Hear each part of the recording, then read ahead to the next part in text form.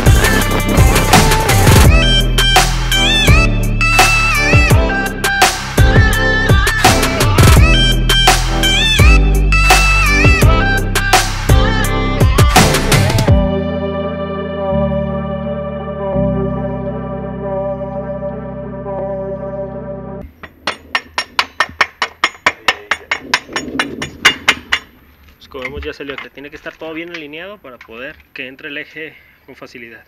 Entonces ya nada más restaría poner la tuerca acomodar lo que es la, la cadena ponerle su seguro y volver a montar la salpicadera. Entonces vamos a seguir con, con la cadena